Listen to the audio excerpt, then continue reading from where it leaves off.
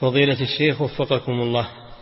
يقول في البادية إذا مات الميت ربما جعلوا على جوانب القبر وأعلاه حجارة مصفحة أو سراميك وربما جعلوا إسفنتا وذلك لمنع بعض الحيوانات في الصحراء من إخراج الميت من قبره وأكله. فما حكم هذا الفعل؟ لا بأس بذلك. حماية للقبر حجارة أو لبنات بلك أو ما في بأس. نعم.